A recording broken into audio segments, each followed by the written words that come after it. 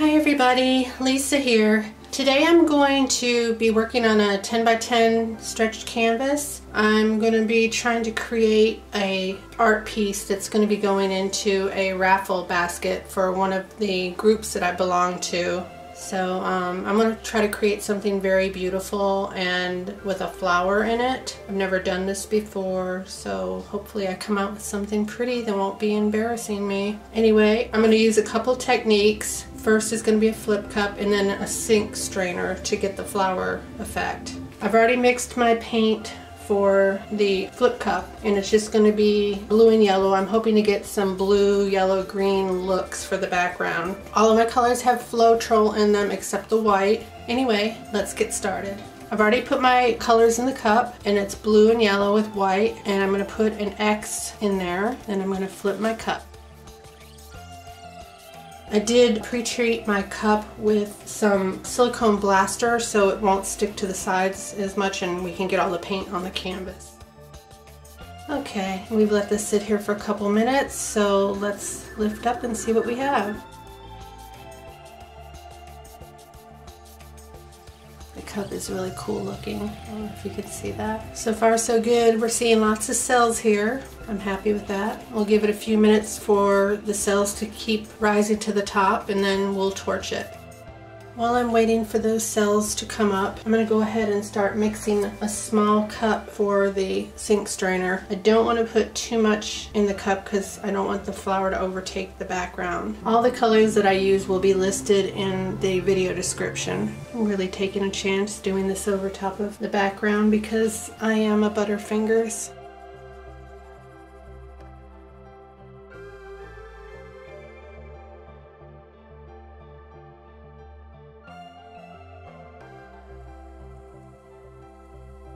Set that aside for now. Okay, let's get the torch. Oh yeah, I see a lot more cells coming up. I use my hand as an edge catcher. When you tilt, when you go to the edge, you want to bring it back to the center. Got some beautiful cells. I'm going to try to stretch that out a little bit more because I'm going to be covering up the center anyway. That's gorgeous. I'm really happy with that so far. Almost hate to cover it up.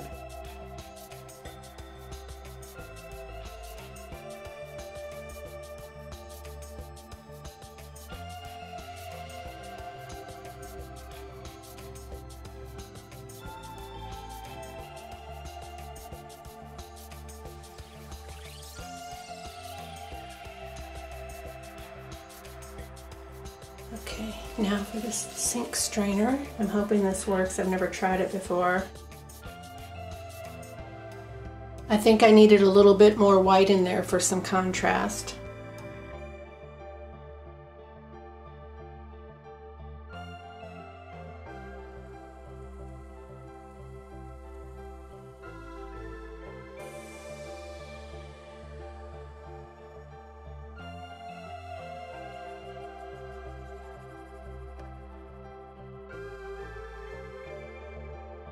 Pretty, but it's not exactly what I was going for, so I'll be doing a little manipulation on this.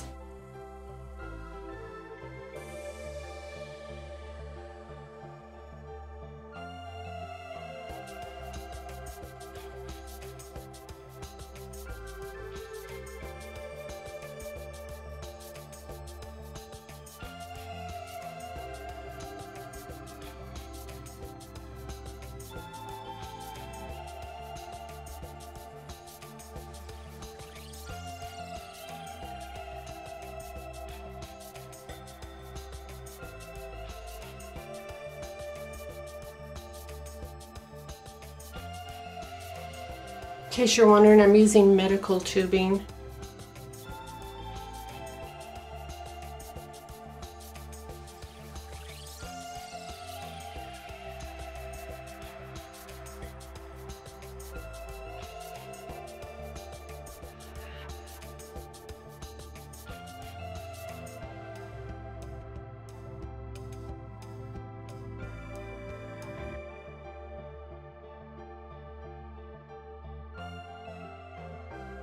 Okay, I'm going to use a little trick that I saw from Scott Alexander Rivera and I'm going to take some of the paint out of the center because I have a lot of paint in here. So what I'm going to do is push down on the canvas, push down and get it to flow into the center.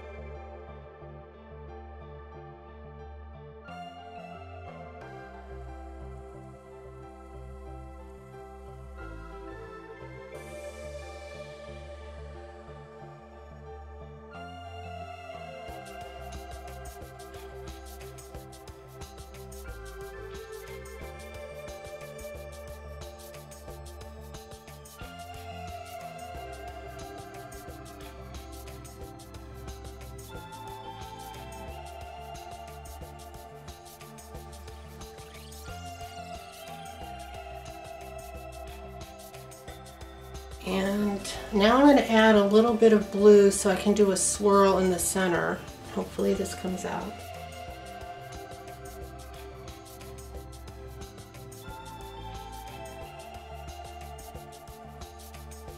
Okay, I think I'm going to be stopping right now. I'm pretty happy with that. So I'd like to thank you for watching. If you like what you saw, please subscribe and don't forget to click the notification bell so you don't miss any of my future videos. And stay tuned for close-ups. See you next time. Bye.